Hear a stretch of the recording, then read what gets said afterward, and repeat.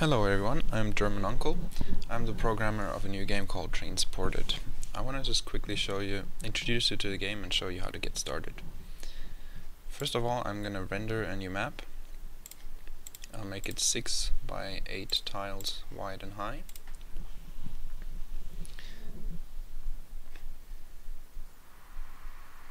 And there we go, that's our first map.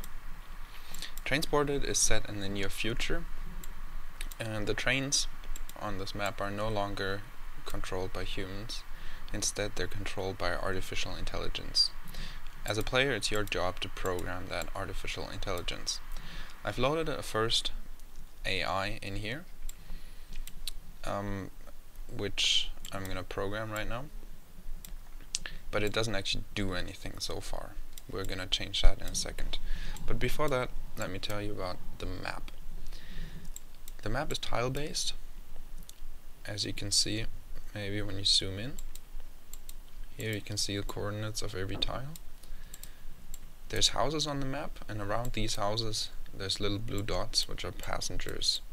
They always spawn around houses and they always want to go to another house. If you hold down the spacebar you can see where each passenger wants to go. So let's start by creating our first train to do that, you need to know that the game has a folder on your computer called AI. It might be in a different place depending on your operating system. You can just play the first tutorial to find out where it is on your computer. I am gonna load the awesome AI file. You can load that in any text editor you want to. Um, and in here we're gonna write our code for the for the awesome AI which is already loaded here.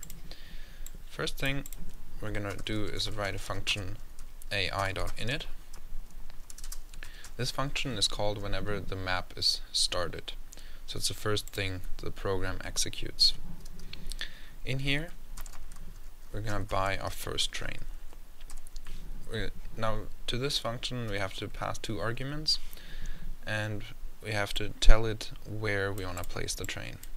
To do that, um, go back to the game, press M and here you can see the coordinates as I showed you before. And we're gonna just place it up here on the tile 1 1 once that is done you save the file and reload the map. And if everything went right you got your first train. Now this train just keeps on going and doesn't actually pick up any passengers yet because we haven't told it to do so also, we haven't actually told it where to go, so it just keeps on moving in a predefined direction until you tell it to go somewhere else. It does that because later on you, you can load more than one AI on the same map and it has to keep going because otherwise trains would block each other. Next thing we're going to do is pick up a passenger. There's another function we need to code for that, and that one is called ai.foundPassengers. This function receives two parameters. The first one is the train, which has found passengers, and the second one is the directions. The way this works is every time the train reaches a tile that has passengers on it, this function is loaded and it's given as arguments the train, which has arrived at, at the new tile, and, oh sorry, the passengers, which are standing on that tile. Passengers is a list of passengers, and this function needs to return a passenger um, in order to pick that passenger up. Um, for now, we're just going to return the first passenger in the list. You, you can do that by using square brackets and a 1 after the passengers, the, the name of the list. Again, save that, and if we did everything right and reload, then it's gonna pick up the first passenger it finds, which should be down here. There we go, it's stopping and picking up the passenger. Perfect. Next thing we want to do is drop the passenger off again a, a new function This one is called AI.foundDestination. If a train has a passenger, then this function is always called when the train arrives at the, at the tile where the passenger wants to go.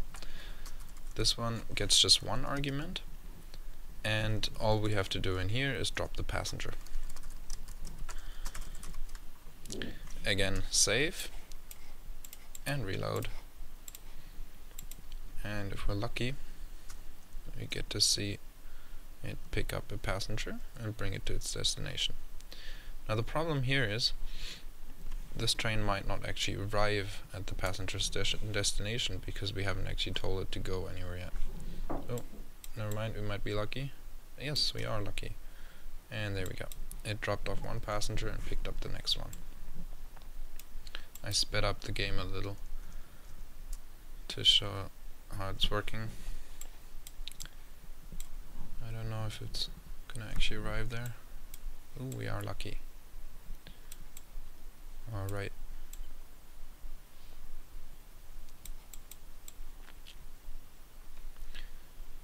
Now the problem is, as you can see, the train is locked in this area on the right here. That's because of the default behavior. The default behavior is to always go north if it can, or south if it can, or then later on it tries east or west, and west is the last direction it tries. So on this tile it'll always go east. We can change that and I'm going to show you with the last function we're going to write today which is choose direction. This is probably the most important function and the largest one you're going to be writing. This one gets um, two arguments again. The train, which arrived at a junction, and the directions it can go in.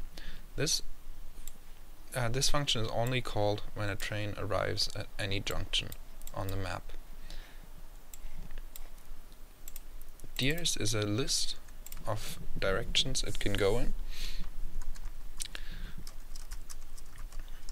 It's filled with values like this and um, to choose a random one of those we're gonna just put it into a different Lua table.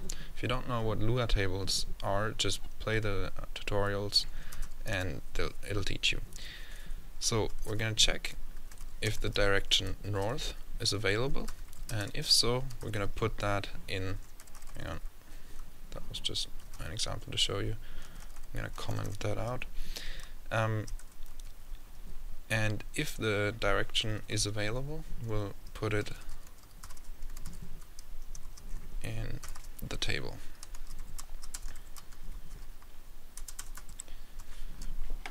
We're going to do this for all four directions.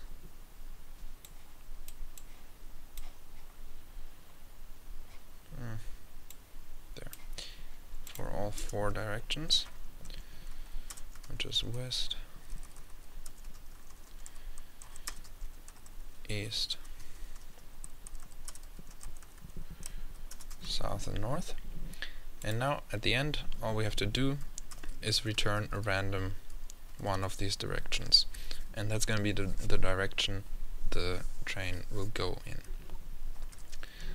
So again, index the table like this, and now we're going to put a random value in there, and going to choose a random one of uh, a random value contained in the table. Again, if this went a little fast, just do the tutorials and you'll be fine. I'm saving it, and now instead of always going to the west side, I mean east side, sorry, it'll randomly choose directions.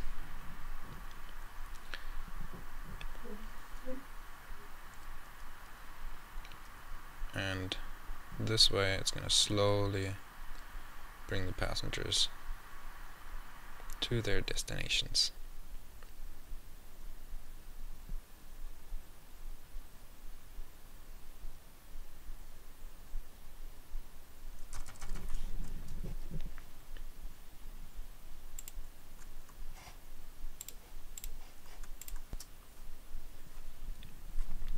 Once you've done all that and beaten all of the all of the four tutorials, there's going to be challenge maps later on, and there's also the compete mode where you can let AIs compete against each other on a random map. Once that's done as well, uh, the last step is going to be to upload your AI and let it compete in live online matches. To do that, go to the trAInsported website, and on there you can see um, info about the upcoming matches, the current matches, and the matches that have already passed. You'll also um, get top scores here and information about your own AIs that you've uploaded once you log in. But there's more than that. Best part is you can actually watch the live matches if you connect to a server.